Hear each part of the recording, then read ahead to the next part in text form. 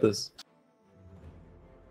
Hey, welcome guys to the high school E League. I am your, uh, sorry, play-by-play Tico, or Benjamin Tico Lee, and I'm joined by my color caster. Jackson Pro Williams. And guys, it is a pleasure to be back here once again for High School E League. I believe was it week ten now, or is it week nine? Nine. Uh, so pretty much uh, today it's a competition between Glen Glenunga International High School and Nazareth Catholic College. And um, before we get into it all, I'd just like to do a big shout out to all the people that have made this possible. And it is week eight actually. Um, so Oh, for the people who have made whoops. so for the people who have made this all possible, um, from the teachers to the schools to um, a high school e league themselves organizing this, uh, it's they've been done an absolutely fantastic job of being able to get everyone on board, getting everyone to be online at the same time. So massive shout out to them. Um, and yeah, it's it's it's gonna be an absolute pleasure to watch round eight today. Should be an amazing game. Now we haven't seen Glenunga pay. Uh, We have not seen Glenunga International High School play play so far. We've seen Nazareth College, Nazareth Catholic College play before, and we know what they're capable of. Now it's just, it's just a point where we have to say, step back and say, Nazareth, we know what they're capable of. Glenunga have to bring their A game to play against Nazareth because we know how well they play. We know how they can play together. It's just, I'm just interested to see how they're going to play against each other. Yep. And of course, guys, just a note, this is uh last game for st- the, the stage, the last week for the stage matches. Um as of next week, we are going to be into the playoffs. So this is going to be absolutely fantastic. It's going to be absolutely crazy. And uh shout out to FBI man uh who's saying hi mom. So uh Hi, mom, from FBI man. Yep, he Yeah, so- loves his mother. Yep. All right, he is on the side of Glenunga. I'm sure his mother knows that, but you know, because she put him in that school, right? And uh, yeah, pretty much. So um, and I'd also like to have a good quote from um Greek Tyler one's cat. Three per four, four in her, three per four I. Hitch to throw for quits. Siri. Cat went on keyboard. No. This cat is learning to type as we I love this cat. We need to we need to find the name of it. Anyway, What's the name of the cat? uh, we'll find out. But speaking of playoffs, exiting the the stages, we do we are going to see the Victorian finals being played live. So it's going to be played live at the Margaret Court Arena on Sunday, September the 2nd. So, guys, if you are anywhere near Melbourne, anywhere near Margaret Court uh, Arena on September the 2nd, it'll be so good to it'll be so good to see you guys just supporting your favorite team. It's going to be played between uh nope, that's not being told. Never mind. We don't know. I was like, I was like, there- it's gonna be played between. Oh wait, we haven't even gotten to that stage Yeah, yet. yeah, But yeah, it's gonna be in Victoria. Victorian high school teams battle it out at the Margaret Court Arena on Sunday, September the second, before the OPL, so the Oceanic Pro League Grand Final in the Rod Laver Arena. So it's not gonna be in the Rod Laver Arena. That's just irrelevant. It's in the Margaret Court Arena. Of course. And then it's it does appear that um we are we do have the name of the cat, by the way. Mr. Whiskers. No, no, that was someone else. Volley Volibear. Volley Bear. No, wait, no. Hold. It's it's wait, give me a sec. So It is okay, so pretty much, uh, um, I do believe that Nazareth College has Nazareth Nazareth Christian College has lost some bands. Um, that's disfortunate. I feel like there's a joke about that which I'm missing, but uh, please use proper English. Um, um, so it does look like they are they only lose one ban by looks of it. So they are just going to ban the Akali, who is not allowed to be played anyway, because it's two weeks. Um, it's basically have to wait for the next patch before you can actually play a champion that was released on this patch. Yeah, so we talked about it last week. Akali won't be allowed to is not allowed to be played for the next two weeks after release. And since this is Akali's second week out, she is not able to be well her rework. she's not going to be able to be played, unfortunately. So that Nazareth are going to ban the Akali because they've already lost one ban. So, you know, Hmm. no one's picking Akali. Yeah, pretty much. So we are just giving them confirmation now. So, um, key things to know in the changes this patch. Uh, how is Quinn feeling right now? Because I do know that Quinn was an amazing lane bully. Was actually picked up in pro play by Cloud Nine at one point, and actually led to a couple wins in pro play. But so you said Quinn, right? Quinn, Uh-huh. As I'm asking, what's happened with Quinn? Amazing things. Oh, it's it's after the nerfs. Is Quinn like feeling weaker or stronger or? All right, so it's it's more of a balancing thing that's happened to Quinn. So she used to be able to snowball so well into the late game, and then she well not snowball because I mean she's an early game champion. She used to bully so well, but now I am I can feel it when I play her. She she has a bit more of a later mid game impact than she did before. Her late game has lost a tiny bit, but her mid late her mid her early game has lost a tiny bit. Her mid late game has picked up a little bit. Or how's it picked up a little bit if it was just a nerf to the armor, or was it because the crit items were changed that she's um got a bit better mid to late? That too. Yes. So, I mean, I went a 25 and 4 game against Cho'Gath. I love that was a couple days ago. That was a lot of fun. For those who don't know, I play quite a bit of Cho'Gath, and I want to see this game because I feel like I should be disappointed in my fellow Cho'Gath player. I think I can save it, replay. You can go It's- into log into my account and save it and watch it. But, you know, we're going to head right into the game. Glenunga International High School versus Nazareth Catholic College. We have Glenunga on the blue side and Nazareth on the red side. Yep. So as a for Nazareth Christian College, they are going to ban the uh, the Akali for us as a basically First because they lost their off. ban. And um, it, this is one thing I've noticed a lot late recently. I've seen a lot of Evelynn bans. It's it's I'm not sure. It's like Evelynn's not really in the meta at the moment, so this seems like a very peculiar kind of ban. Well, I mean, she does not. Oh, she. Okay, she's not impactful unless she snowballs. And I just feel Glenunga really don't want to deal with some snowbally champions, which includes Evelynn, which includes Elise. And of course, with the Elise and Evelynn out there, we do see the Janna, so we do see a massive disengage and uh, utility threat from the side of um uh, Glenunga being taken away. So whether Lucy down in the bot lane is a Janna main or whatnot, it's it's either way, it's off the table, and that's also a late game scaling support off the table as well. Yeah, definitely is. And they have also taken a couple more. One top laner, Darius, taken away, as well as the Xayah been taken away from the side of Nazareth. Yep, so it's very interesting that you see the Darius get taken away and then the Shen first pick from the side of Glenunga. So Shen, for those who don't know, in the top lane, gets hard countered at all points of the game by Darius, and you just can't match him. You just you can't match him in the 1v1, you can't match him in lane, you can't the only way you beat him is with your ultimate and potentially saving allies. Um so it's it's very interesting to see that first pick as soon as see the Darius ban. Um, considering they didn't ban the Darius themselves. Well, it was really smart. And now we see a Graves, I assume, would be in the jungle, as well as a Rakan in support. Even though Xayah's been taken away, a Rakan is still getting picked. And Rakan is just a really strong playmaker. Oh, but never mind. talking about playmakers, Oh, Alistair, or Alistar, however you want to pronounce it. The big cow. is it? How would you pronounce that? Was it Alistar or Alistair? I pronounce Alistar. I got Alistair.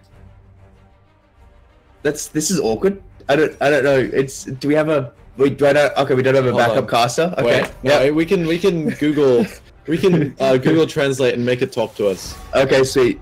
Um, so we do see the Ezreal pickup and also the Jinx pickup. So immediately we're seeing two completely different playstyles. We see the Jinx with the utility support.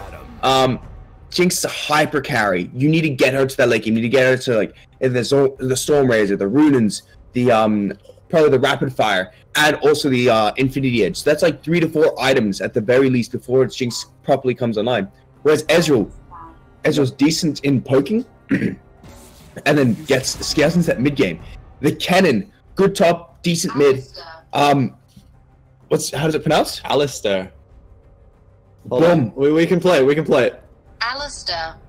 Alistair. Yeah, but that's Google Translate, so. Alistair. Alistair. Okay, guys, and we do have the, and we have the Volibear ban as well. Oh, no, that is so unfortunate. It's a GG rip for the side of Greek Tyler One. Unfortunately, I mean he wasn't gonna pick Volibear any. Oh, would he? He wasn't gonna pick Volibear anyway. Uh, indeed, but still, it's one of those things where it's more of a sending a message, you know. And we do have the Ornn ban as well. So Ornn, really safe top laner, great scaling, amazing engage, and a lot of people been building the Luden's Echo. Now the reason why that is such a problem is because you have the Jinx. Her autos do so much for those team fights already, but you have Luden's Echo on the um on the Ornn who use the ulti at the start of the fight. Jinx just opens up and gets those bolts, uh, enhancing her auto attacks, and then she just shreds. Ooh, this is gonna be interesting though. We're seeing a Fizz, not necessarily going to be. I mean, he does have Smite, but he's probably going to swap it with Graves. It's going to be a Finn into what looks like. Oh, okay, he, he trolled. It was a Yasuo, but now it's a Rakan with a Lee Sin hover. This should be interesting. So it does look like it's going to be the Shen top, the Kennen mid, um, Rakan support, and then looks like Lucy's going to uh, last pick the jungler. So it's it's gonna be interesting to see. Like, it, we're probably looking for a diver of sorts. Yeah, so it's Greek Tyler one who's going to be in the jungle. We do have Lucy up in the top lane. Vermilion in support, zero AD carry, and FBI man in the mid lane. I'm not going to repeat that because that was too much. But we do have an Illaoi top lane against this Shen. Okay, so Illaoi top lane is actually quite interesting, but you do need to get that early lead. Illaoi does amazing with that lead, and it gets to a point where your jungle comes up to gank. She will 2v1 with ease. It's like fighting a Darius in the top lane. Um, but it's a little bit less mobile than the Darius. Like you need to stay in the fight with Illaoi, but you do have the ultimate for more immediate impact in those fights. With Darius, you can run away, so you have more kiting capabilities. So it's very it's very interesting pick there. I, I'm not sure how the Illaoi into Shen matchup goes. I personally haven't played it, but you can only imagine that it's won't be too good because the Shen does have quite a bit of mobility with the taunt, and Shen uh Shen if he does uh if he does get, get the test of spirit or if he does get the um what is it the test of spirit hooked onto when you when you pull that ghost out yes Yes. Okay. then Shen is um, able to go in there, uh, block any autos that can help proc the um tentacles, and just be able to uh, oh just absolutely destroy the Illaoi. And when you attack the Illaoi, when she has that a ghost of yours, the ghost is actually decreased in the length of time that it's out. Yeah, and so we do have a lot of global pressure coming out from the side of Glen side of Glenunga. Sorry, tongue twister. Three teleports compared to the one teleport on Nazareth on Fizz. Yes. Jungle, not jungle, mid. What is with my brain today? I'm not sure, but one of the key things with Kennen is it Kennen relies on getting those flanks in the um in the team uh in those team fights. So Kennen roaming is actually quite decent. He has movement speed. He's got quite a bit of lockdown capability in an AOE. So Kennen's actually a decent a decent pick here especially against the Fizz, who is a melee matchup. So Kennen can help bully the Fizz out, and just um, it's because Kennen always buys the uh, Zhonya's. That is a hard counter to any kind of Fizz engage in lane. So if you go stopwatch in lane post ten minutes, you pretty much just won't die to the um, Fizz ult combo. But it's all about making sure you don't give the Fizz that lead early, and then you just bully the Fizz out, and then the Kennen can just get those runs effectively. Um, in the bot lane, Ezreal Rakan, you got a lot of playmaking potential. But this Alistar, Alistar is a menace for champions like Rakan. You go in, you get knocked up, you can get hit back. You have so much lockdown with Alistar. So that is quite the threat for the Rakan.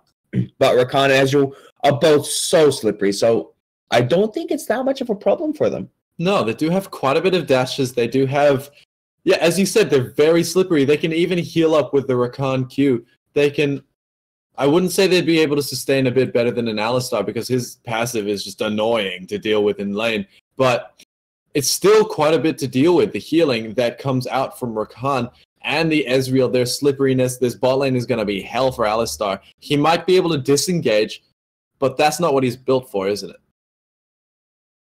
Pretty much. He's um he's built to be playmaker. He's built to do what the team wants, and a lot of the time there's a lockdown the enemy.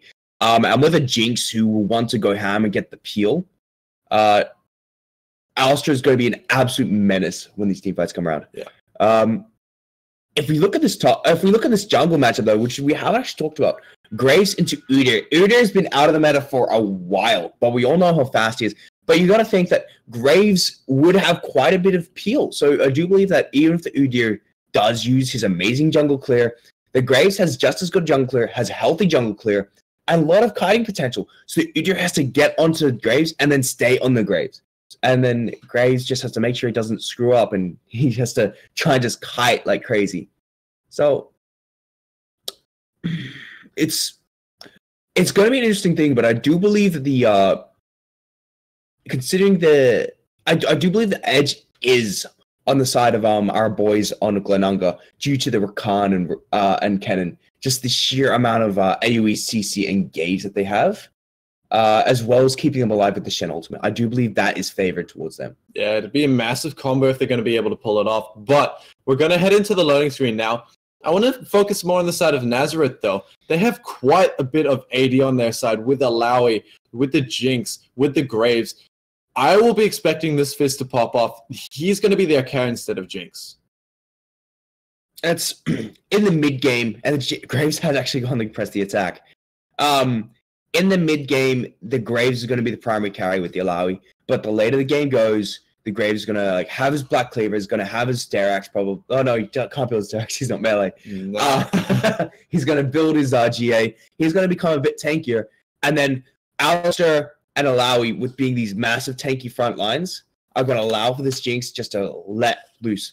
But they don't have a lot of engage for Peel. So Jinx seems like a very off kind of pick for this team comp, to be honest. Mm-hmm. It seems like a very diving kind of team comp. And then you have a Jinx who's needs you basically need to keep him safe against a Rakan, Kennen, and even a Shen and Udyr who just want to dive that back line. Yeah, basic Beast Boy. He's going to be depending a lot on the rest of his team so that he can stay in this game. Because playing an ADC in this current meta, even though the items have been buffed, it is still hell. Because we have a lot of divers. There's a lot of damage coming out from other champions that just obliterate AD carries. Hmm. But speaking of um, AD carries and the item changes, so basically when you go Storm your crit item and your IE, that's almost a thousand gold cheaper build path than it used to be. So this allows you to get your um your third item, your second item, your first item power spikes just that much faster, and allows you to stay relevant more so you don't fall behind in gold. However, against the Ezreal with the Kleptomancy, Ezreal's going to keep on pushing for those leads. Oh, Oh, we are having a s- unfortunately, yeah, we do have a spectator uh, problem. Um, so I'm not sure what the goal is that we will uh, hear from Yuna, um, our broadcaster. So, but anyway, so it's hopefully we are going to be able to get back into the game. But until then, we are looking at in different kind of team comps in regards to like how they're going to go. In the bot lane after the first back, the Ezra Rakan is going to win that matchup. Um, there's they've got they'll have the sustain in lane, they'll have the uh they'll have the extra poke, they'll have the tier, they'll have the sheen. So a lot of damage that's going to be coming out of the Ezreal. Um, whereas the Jinx doesn't really come online until maybe he gets his uh Storm Razor. Yeah, no, Jinx doesn't come online until Stormrazor, until she gets that first item. She, even then, she's she doesn't come online. You need a Stormrazor, Runaan's Hurricane, and then an Infinity Edge. I remember when the days you used to go Infinity Edge first. Not anymore. It's it's gone. It's it's changed quite a bit. Stormrazor has become meta. We it's been a huge change. Stormrazor, that first auto crit is huge. It's just I don't know how to say it. It's just when we saw that item first come out into into this game, it was wow, that's going to be broken. It's not been broken, but it has been a game changer. And so we're just going to try and sort out how we're going to fix this, get back into spectating. Yep. So we are currently waiting on a um.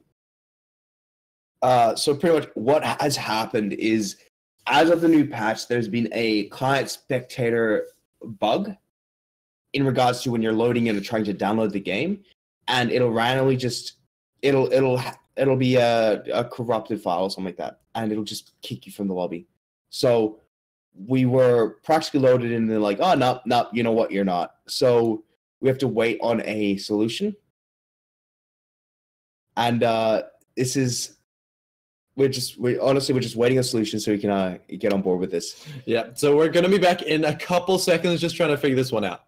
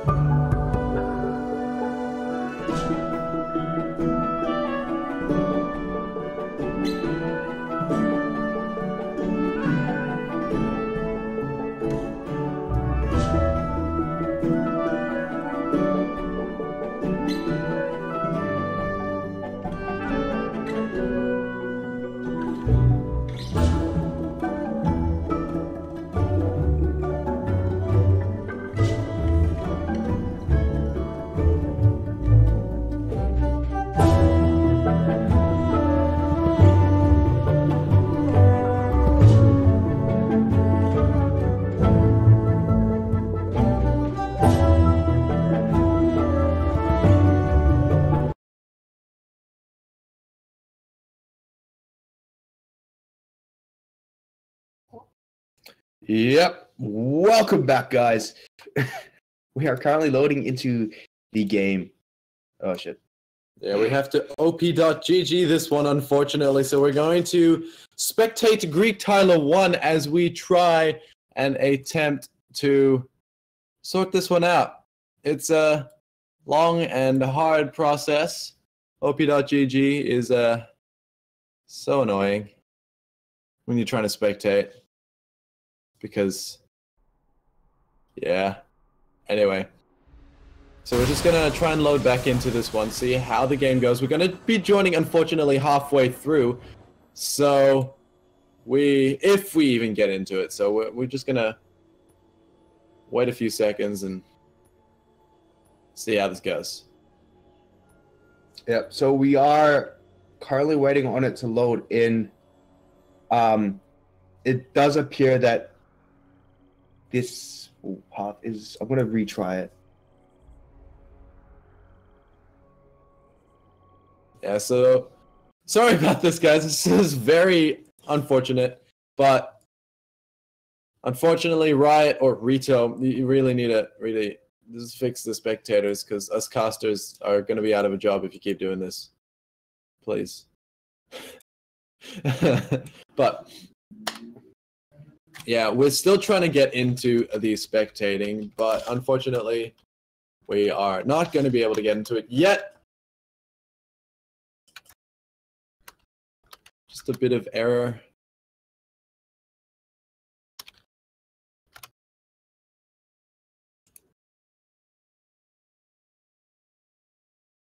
Yeah, unfortunately, is not going to be working right now. You should be able to be you should be able to see the game paused. But Yeah, so unfortunately, this we are having the issue of um it's not it's going to command prompt and it's not going any further.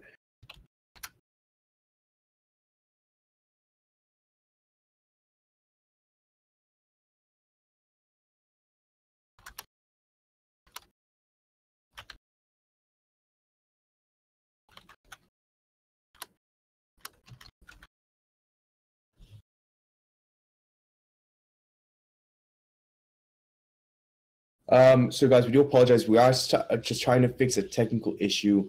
Um, we will be back shortly.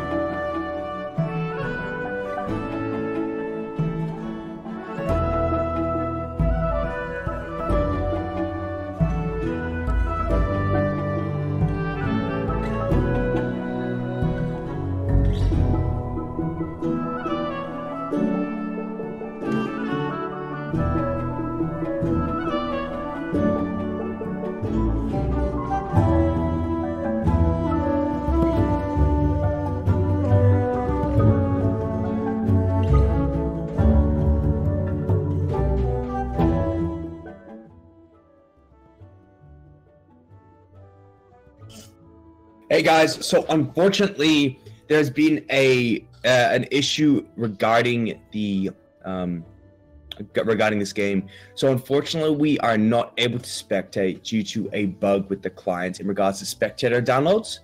Uh, so unfortunately, we are going to just announce the results afterwards. We it is very unfortunate, but we we just are unable to spectate it.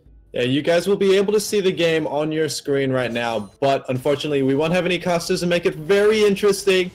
You'll see the results, you'll be able to see the game, just you won't be hearing our beautiful voices. We'll be back after the game ends to announce who has won it, even though you already seen it already. And just have fun, enjoy the stream.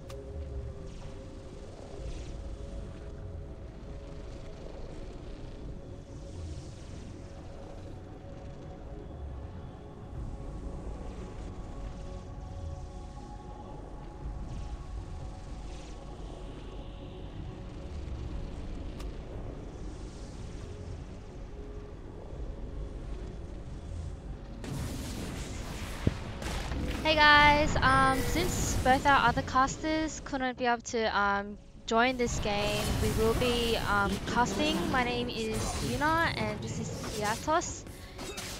Hello guys, apologies about the technical issues that we've uh, had previously, but we are back into it. We are resuming the game as we're seeing the second Cloud Dragon of the game going down. Yep, so, you know, as we did miss quite a lot of the game, we did lose about um, 20 minutes, 12 minutes of the game. Um, what do you think is going on right now, and you know, who do you think is taking the lead? Well, it definitely looks like the side of NCC. Unfortunately, I don't have the team names in front of me, which is a little.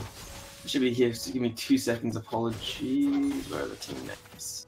It looks like the team with the Jinx, with Basic Beast Boys Jinx being five and zero, is uh, a little bit powerful because Jinx is insane when it comes to scaling. So it looks like Nazareth Catholic College is in the at least at the very minute, right now seems to be in the lead. Yep, so I do think so. Exactly the same. Jinx being so fed at bot lane, 20 CS um, above the Ezreal. They are they do have a 3,000 gold lead in throughout the whole game. They are on a one to five um, kill rate, and you know blue side seems to be getting pushed in top side and the bot side, keeping the both mid towers up. Um, what do you think they could do to actually bring this game back? Because they do have a bit of a, um, you know, they are in a losing position. But you know, what could the specific, you know, game potentials or macros they could use to actually win this game? Well, if you look on the side of the red team, which appears to be uh, Glenwood International College, and we'll come back to it in a little second, as it looks like there's a bit of a fight coming in. They're trying to fight for the blue buff, and despite being ahead, they are forced out of there with FBI picking up the blue buff. But stuff like this, they need to use a numbers advantage and simply overrun the side of uh, Nazareth because like you can be ahead by a couple thousand gold Jinx, as an AD carry, as a hyper carry, needs protection. If you jump on a Jinx, she becomes redundant, and there's no one on that team on that team that has crowd control outside of the Alistar who can protect basic Beast Boy. So I think if you manage to jump on top of the Jinx and destroy her, you they the the uh, apologies the blue side of uh, in, uh, International High School should have more than enough damage to roll the rest of that team fight. So just outnumber them and then win from that we all know that you know Graves jungle is also a pretty you know he's sort of a carry jungler as well. But seeing how he's actually losing against the Udyr in terms of CS farm, what do you think about that? It's in a way to be expected. Udyr is a really it's an annoying jungler. If you've ever gone up against an Udyr, you've played against him, he just like he always seems to outfarm you. He always seems to be in the right position, and he always is able to split push like an absolute monster. And it looks like Greek Tyler is actually going for the uh, the AD you know split push style build. I believe the phrase is opening the gates. So it's a little worrying because if he's able to get on top of the Jinx, Jinx is dead without the Alistar to babysit her. So the fact that the Udyr is ahead of the Graves by only 500 gold, but it's still a decent amount. The fact that he's that far ahead of the Graves though is a little bit of an issue because Graves, as a carry jungler, really wants to be ahead as hardwired. Oh, they really want to try and force this, but an easy flash out. Chum the Waters does not connect. How are they able to get a torn? Oh my god, Rakan gets axed in the back on the slicing Maelstrom is tearing them apart. They are absolutely done already. It looks like they're going to have to recover the fight. The Fizz doing what he can. Jinx long since dead, unable to use any of her summoners. FBI man Zero beating up against Lazarus, who is he able to get a turn? It does not look like it as he was outnumbered, outgunned, and that is an unfair fight coming in, but that was the opening they need. They had the numbers advantage, and basic Beast Boy on this 5 and 0 Jinx at the time, he has Flash, he has heal, nothing got used. So, why, what, how do you think this all happened? Was it the placement issue between the teams, or was it just the team comp in general? It was an overconfidence. We saw the Chum the Waters, and Chum the Waters did not connect, and that is one of your initiations at the side of the Catholic College. Once that failed, Hardwired, who had used his cooldowns previously, had nothing. Maiko had nothing. There was no CC. So that means FBI men got a beautiful slicing maelstrom, got access to the backline. Tyler and Zero, no one was able to lock them down. And so without crowd control to protect the Jinx, without crowd control to have proper fight lines, you know, Nazareth just got straight up slaughtered. So they just have to have proper fight lines, or they're not going to stand a chance against you know the likes of the Kennen and the likes of uh, uh, the Ezreal. And you can see the Graves getting easily poked out by the Ezreal and you know also the Kennen very quite easily. He's actually really squishy right now. Also, looking at the Rakan, you're playing Rakan, you you can win lane, but if you keep everything even, he would definitely outshine you mid game. Watching, um, you know, with his grand entrance and his ult ultimate, like you know, just getting into a fight is quite easy. And also with their Kennen's, um, he's engaged. Both of them work very well together, which is quite a good duo actually.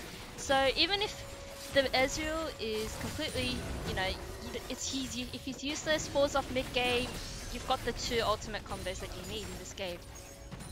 Exactly, and it feels more like counter engage than actual engage because we saw in that last fight. If you look on the side of the international high school, outside of the outside of the Rakan, you don't really have a fantastic, you know, five v five team fight engage. FBI man doesn't want to go headfirst into the fight as a Kennen. He wants to get the flank. He wants to be the follow up. And Greek Tyler, again, he's playing Moody. He doesn't want to be the first man in because he's so easily kited, as we've just seen here. And he can just shred. He's got no resistances. He's got a little bit of health, but that's all he's got going for him. So it feels a bit of an issue. is Nazareth wants to force the fight with the Fizz and the the Alistar, but if they fail the engagement, they have to back up because if they don't again, well, we saw what happened last time they engaged about proper crowd control and fight lines, and history will repeat itself, and that's not a history that Nazareth really wants to run into. Indeed, it is. So, what what should Alistar do this time? Should he should he be waiting for the Rakan to actually engage, or mm. should he be trying to engage on a hyper carry on their team to actually secure a kill? The issue is that there's no. Who do you target here as the Alistar? You, your primary targets are FBI Man and oh, actually, we'll have to look a little bit as Fizz is a little bit caught out of position. I don't know what he's doing back here, but he is going to dive for it because he is not getting his way out of there. But the rest of the team looks like they want to try and get it. The taunt does not connect, but Jinx is untouched. And Twitter chat is oh my god, Rakan is on the backline trying to buy as much time as possible, but unfortunately it's not enough. Now Jinx is excited. Jinx is going to be trying to take out FBI and Super Mega Death Rocket. One more hit will do it. That is Jinx. That is one down. Lucy is taking it as well by the tentacle, and Beast Boy is running a rampage through the rest of this fight. And I mean, we're talking about improper fight lines and damage. They were just so spread up. Rakan dived in, no support, no one came to help him. And then the rest of the team, they didn't kill the Illaoi, and well, unfortunately, we saw how that fight went. So, like we said before, Jinx is the hyper carry of this team. She's pretty much the sole champion in this game that, you know, has all the kills, pretty much. And like we said before, she does have quite the damage. And if you keep her alive, she will do a whole stack of damage to the enemy team, and that's what her actual team did. Rakan actually went tried for, uh, went for the back line, but you know, did he get any kind of support from that or any kind of you know engage from that? No, he didn't. Which is why Jinx actually she actually did quite a lot of damage that fight. How much do you think she would have done?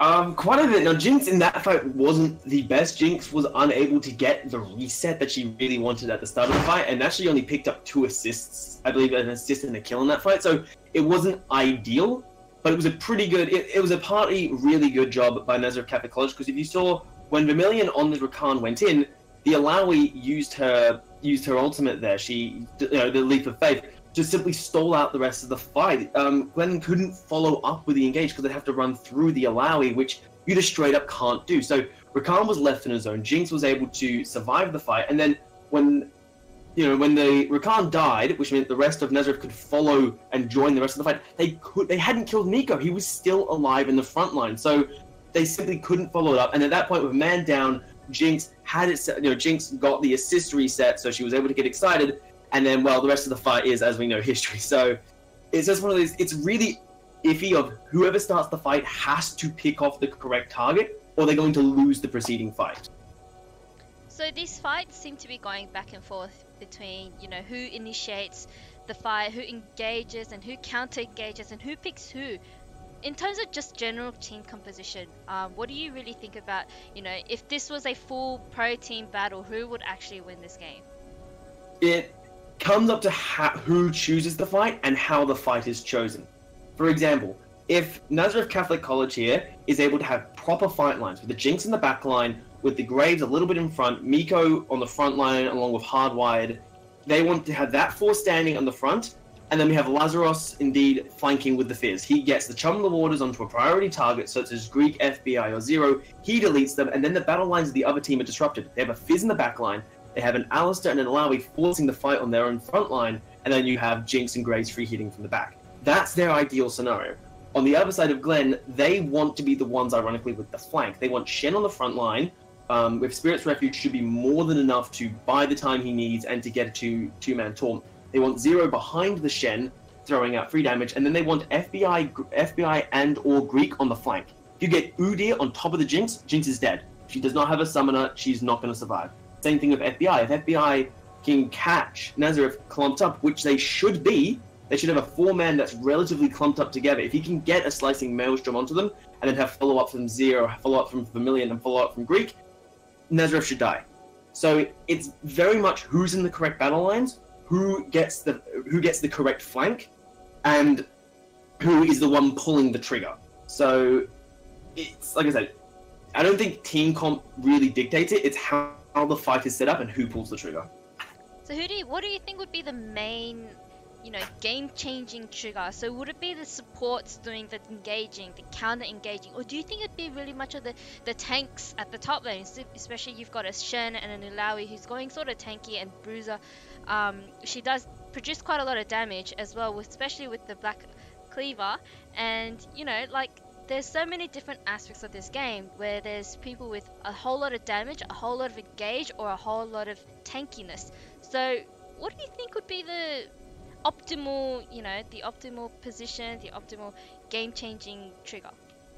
the ironically, I think it's all going to be on Vermilion, on Vermilion's Rakan. Now, in the last fight, we saw Vermilion's Rakan get a beautiful engage, grand entrance into the quickness, and got access to the backline. I believe he had Beast Boy, Lazarus, and Hardwired all just you know clumped up out of the fight. They became irrelevant, and then his team needed to follow up. They needed to kill Miko's Illaoi and then follow on with the rest of the fight. The issue is they couldn't. They got boned out by Miko's test of um, leap of faith, and they just couldn't get past him. So that's I think it's definitely on Vermilion win or lose because Hardwired, from what we've seen, his target selection it's a it's difficult because he's got three people he wants to combo and you know comboing in Ezreal is difficult. Comboing FBI man is ideal, but FBI man shouldn't be that close. And Tyler is really going to be difficult to kill, especially because if, he's, if he gets hit in turtle form, he's not taking damage. So I think it's on Vermillion, win or lose. He needs to get a he needs to get an engage. He needs to get access to the backline, and either his team needs to say screw it, we're ignoring Miko's Illaoi and dive in with them, or they need to kill Illaoi in I think the three or four seconds that they have. So ignoring Illaoi's damage is would probably cost them um, quite a lot of health, especially because she does AoE damage and it's consistent. And she's known to be that one champion who does the 1v5 at any almost any kind of the any time of the game, the duration.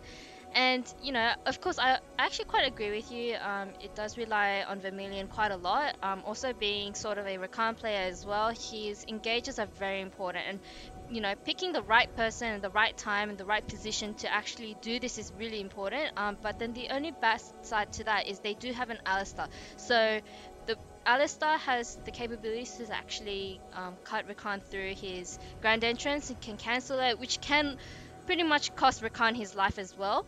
Um, so really depends. They can try and you know bait Alistar out, but if those things don't go into place properly, they actually don't have a much of a chance of winning. Um, but also, looking at the mini map right now, they do have Baron pinged. Do you think they will actually be able to get it? Because there's, you know, 3 seconds left on Rakan, 15 seconds left on um, Kennen, and 19 seconds left on Shen before he respawns. But would this team be able to actually get this Baron? They should be able to, and the main reason is because they've still got the Illaoi and the Alistar, who are very difficult to kill, even for Baron standard, because Baron doesn't do a ton of damage, but Baron is pretty damn tanky. So they shouldn't be able to kill the front line, and then the back line of the Graves, the Fizz, and apologies, not the Fizz, the Graves and the Jinx, that should be more than enough damage to kill the Baron. Now the issue of is there going to be a congestion? Well, Udyr is alive. Udyr has Smite up and available. So there is the potential for a steal, but I really don't see a world where Greek Tyler gets there quick enough, is able to position himself properly, not get zoned out and or killed, and then manages to steal the Baron. So this, in theory, should be a three Baron over to the side of uh, Nazareth Catholic College. So, thinking about you know the current the current game where everything is at at the moment, mid tower on the blue side is almost about to fall. Would they? What would be the most optimal case for them? Would it be to Baron and then quickly reset, or Baron and then straight to pushing? I think I think you should be resetting. If we look at the gold values, Jinx is sitting on you know fifteen hundred gold, Illaoi is sitting on thousand gold, Graves is sitting on nine hundred gold, and even Alistar is sitting on eight hundred. The only person who isn't sitting on much gold is the Fizz, who is just recalled and is sitting on just 100. So I think it would make sense you pick up the Baron, which gives you a bit of gold, recall, you then give Fizz the blue buff, which is currently up, you give Jinx the red buff, which is currently up, you then send, I'd say realistically, you can send everyone mid, run down the middle lane, um, take out that turret, you can realistically take the second tier middle turret, and then you rotate to the bottom side of the map because that bottom wave is pushing in your favor for the side of Nazareth, and you take the bottom tier two. And at that point, I think you can back away, take the fourth dragon as it respawns, and then you can start looking at getting pickoffs and such, because that's when your Baron buff should expire, and there should be enough wave clear on the side of Glen that they won't be losing an, an inhibitor unless they make a botched engage. So, so saying that you know they do get Baron, it isn't. It will be quite an easy Baron, especially if Udyr somehow, unless he somehow does a miracle steal off this team. What would be the best case scenario for the blue side? In terms of they're losing their towers, their minion waves are getting pushed into them. Um, the enemy team has Baron, which means they also have Baron minions, which is which does quite a lot of damage to turrets. So what would be their you know best case scenario in you know doing a counter attack to them? Their best case scenario is Nazareth will more than likely send three or four. They'll, uh, they should they'll take Baron. They'll recall. Now, let's just like you said before. Let's assume that the the doesn't steal Baron, which we're honestly not expecting. They need to then hope that they send three or four members mid and take the tier one. The tier one is already dead. You then send three or four members to the bottom side of the map and catch whoever chooses to push that wave out. More than likely, it's going to be Lazarus's Fizz. You kill the Fizz, you then have a one-man advantage. You then need to utilize that one-man one-man advantage by forcing a fight on the four members of Baron. That's their best case scenario. Realistically, they still should be losing two or three turrets, but the best case scenario is they catch out the Fizz who's split pushing, and then they force an engage where FBI Man gets access to the backline, destroys Beast Boy, and then the Graves and the Illaoi shouldn't be able to turn the team fight around. So again, that's their base case scenario, but more than likely expecting three turrets to fall, but the inhibitors to stay alive is, I'd say, the more realistic scenario we're going to see out from Glenunga International High School. So we found out that blue team, um, uh, Rakan has actually DC'd, disconnected, and they have until 15 minutes on the timer that we are currently looking at. Um, and if once they reach that time limit, they have to play with four people, or they have to sort of, you know, they've got no other choice but to play, or forfeit the game. Hopefully, we do see the game continuing, but you know, there is nothing much we can do with Australian internet, can we? Uh, unfortunately, not not overly. Internet's always been a bit well. If, if most people have been in, in Oceania for a while, they know exactly what the internet down here is like. Oh, actually, it looks like he's he's reconnected with nine seconds left to go. So, Rakan is Millions Rakan is going to be back into this. So hopefully, hopefully, uh, no, the game will continue and we'll have a five on five. So, I'm honestly, honestly, I'm actually really looking forward to a quite a good engage by the Rakan again. Um, once he's able to land that, you know, grand entrance and everything, um, you know, Kennen jumping straight into that with maybe a Shen, um, what's the Shen called again? Oh, Uh, stand united. Stand United, right. Thank you. I have not casted in very long. Um, I'm still a very quite a new caster, so I'm getting there. getting there all like there. It looks like they, uh, there's no way they don't know they're on Baron, and it looks like Udyr is actually beelining for. Baron is on 7k health. Dude is gonna get there in time, but he should not be getting access in as he's being zoned out by the Fizz. He's back to. I think they've given yeah, they straight up given up the Baron, and I think that's honestly the best call of what like if the Udyr jumps in and dies, that's a whole member down. So that's probably their best call. They'll recall, they'll reset their items, and then they'll be able to rock back into that. So that's, as I said before during our uh, quite long break, that's what we're expecting to see now. We're going to see a reset, we're going to see a push into mid, take the tier 1, threaten the tier 2, then rotate down bot, take the tier 2 there. So right now, top lane is actually stacking quite a lot, so it will be slow pushing into the blue side. Someone definitely has to go back and actually farm that wave before it ruins the inhibitor turret. So without with that one person down at top lane, catching the wave, there's actually four people on the map. So how do we, how do you think they're going to distribute that? Do you think red team is actually just going to put all their forces into mid lane, or they're going to get someone to split push bot, and maybe one more person top, splitting the Well- blue side around? It looks like Lennon's already done the splitting themselves. They've got Ezreal down on the bottom side, as well as the Shen, who's just not really able to do much. So it's the 5 versus 4. They finally realize they need zero. So that's the tier 1 turret falling, as honestly we expected, because it was always going to be low. But here is where things get interesting. There's the potential for the dive. It's a 5 versus 5, and with the sub and the side lanes pushing in, Nazareth don't need to do anything. They can let the minions do this for them. And simply top lane is pushing in their favor. Bottom lane, I don't believe is no, I don't believe is pushing in their favor anymore. But Fizz looks like he's setting up for a backline access flank, and if he's able to do it, it's going to be disastrous for Glenn. They cannot have their battle lines battle lines disrupted, especially with a Fizz. Oh my lord, they're trying to force the FBI going in, but he gets knocked away. Beast Boy is still alive. He finally gets the reset and is now diving into the backlane. It looks like they are unable to million try his damage, but it's just not going to be enough. A do or die fight, and unfortunately for the side of Glenunga, that was definitely a die fight. So once again, they did try to, they forced it way too much. The Kennen going in with the ult, and especially flashing onto them. Ooh, Lazarus forcing is a little bit forced to use that hourglass as well, but they're forced all the way, all the way out of there, and this is disastrous. This is going to be the in This is not what. This is nothing like what we said was the best case scenario for the blue team. Unfortunately, this is this is definitely worst case scenario as the inhibitor drops at 22 minutes. So I think that was a um, very big problem for the um, for the Kennen doing that. I don't think they wanted to do that, but they saw. I think he felt the need to actually try and do something to get a kill.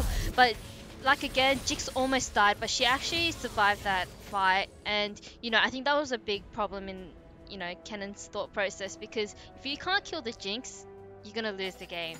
Especially when you're forcing so hard this late into the game against the Fed Jinx what can you really do? Especially getting kicked, um, headbutted away by the Alistar as well. So, what? The headbutt is what saved the Jinx there. The Jinx, the Jinx should have died in that engage. I do agree with you. FBI forced it a little bit. Partly, I feel it's a maybe a bit of miscommunication because we saw the Kennen flash in, and then there was no follow up. Like there was flashes on two other members of the side of Glenunga, and it, no one decided to follow up the engage. So maybe it's a thing of he thought he saw an opening and went in with no that didn't tell anyone is going to be my best assumption of what happened there. But either way, they have lost their inhibitor now, and now it looks like a stack on the bottom lane. They're going to stack in the mid, and this is a serious issue because you've already proven you can't win team fights. Like they're really going to struggle even just clearing the waves at this point. I think it'd be very optimal for um for the red side if Illaoi wasn't actually there in the team fight. So bringing someone up to her to 1v1 her because she won't lose in that kind of team fight. Ooh, Jamilian gets hit by Chum the Waters, and oh, that was a beautiful rocket. If you look at the minimap, they are so spread out right now, and in fact, Million sort of got left to dry, left out to dry there. So we're in a 4v5 situation, especially with the jungler and the tank in mid lane. Not doing much damage. He is able to force him back. But what do you think is going to happen? They are sort of um, doing a seesaw kind of, you know, rotation. So Yeah, they're doing. It's it's a seesaw. It's a seesaw split. Someone has to deal with the top lane push as we see Udyr moving to there now. They can't actually stop the siege on the bottom and the middle lane. Actually, they might be able to survive now because Baron is down, but they simply can't win the fights. They need all five members to win the fights, and with Shen now hanging out trying to protect the inhibitor turret, the Nexus turret, apologies, they can't do anything. They're forced to back away. They're forced to continually give up ground. Graves should be taking out the middle inhibitor turret now, and with that falling as well, the chances of Glenn coming back into this is just really not looking pretty. With Jinx nearly hitting that three item spike, she is eight and one. As we see, Chum the Water's uh, a little bit, a little bit of a miss.